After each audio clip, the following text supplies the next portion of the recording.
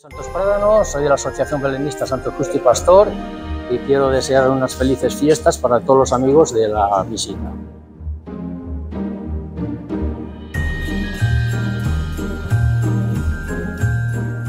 Les deseo unas felices fiestas.